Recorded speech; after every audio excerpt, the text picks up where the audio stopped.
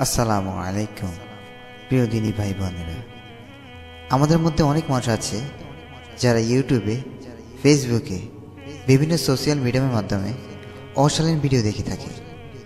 তারা যখন এই ভিডিওগুলি দেখে, পরবর্তীতে তাদের হিস্ট্রি সব কিছু মুছে ফেলে, যাতে কেউ না দেখতে পায়। যদি কেউ দেখে ফেলে, তাহলে কি ভাববে আমাকে নিয়ে?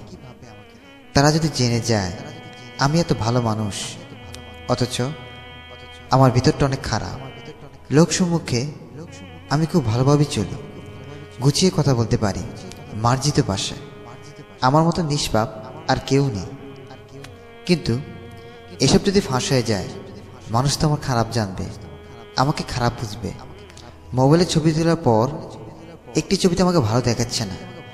সাথে সাথে কেটে দিয়েছি। আরেকটা ছবি তুলেছি।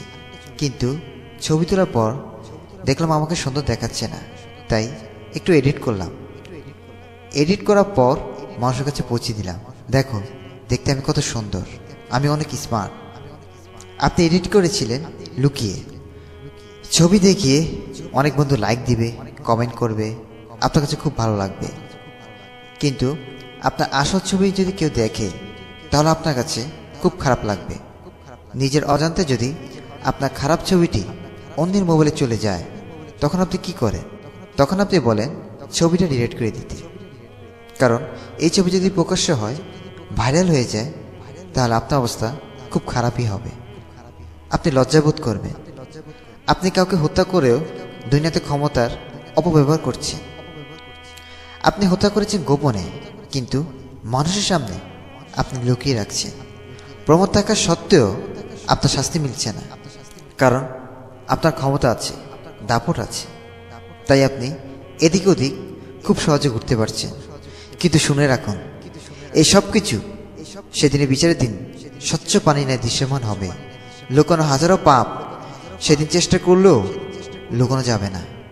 আল্লাহ তালা বলছেন, আর আমলনামা হাজি করা হবে। আর তুমি দেখতে পাবে, আমলনামা যা লেখা ছিল তা অপরাধীরা ভীত হয়ে পড়বে। আর তারা বলবে, হায় কপাল এটা কেমন কিতাব? এতে তো কোনো কিছু বাদ পড়েনি ছোট, বড়, সবই দিকে রয়েছে। তারা যা করেছে তার সামনে উপস্থিত হবে। আর তোমার প্রতিপালক কারও প্রতি জুলুম করবেন না। হিয়া রব্বুল আলামিন, আল্লাহ আমাদেরকে ক্ষমা করো। দুনিয়ার জীবনে আমরা নিজের দোষ অন্যের কাছে ঢাকি। যতটা সম্ভব আমরা লুকিয়ে থাকি।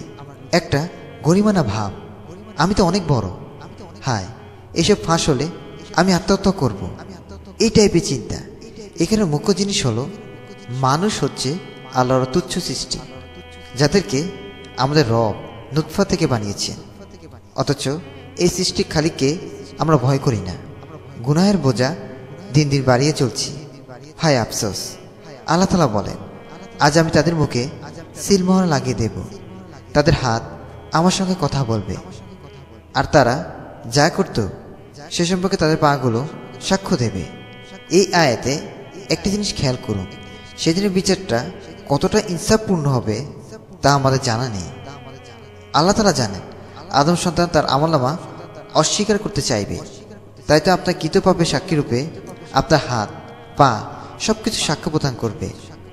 আপনার বলার কিছু থাকবে না, তারও আপনার প্রতিপক্ষ বনে যাবে। অনেক সময় হয়েছে, আল্লাহর কাছে ক্ষমা চান আল্লাহর কাছে ফরিয়াদ করুন যেন কার হাসর মাঠে আল্লাহ তারা সকল গুনাহগুলো মাফ করে দেন। পরিশেষে একটি আয়ত উল্লেখ করছি। হে আমাদের প্রতিপালক, আমার নিজেদের প্রতি অন্যায় করে ফেলেছি। যদি তুমি আমাদেরকে ক্ষমা না করো আর দয়া না করো, তাহলে আমরা অবশ্যই অবশ্যই ক্ষতিগ্রস্তদের মধ্যে অন্তর্ভুক্ত হয়ে যাব। আল্লাহ তালা আমাদেরকে বুঝেও মানা, তাফিক দান করো আমিন।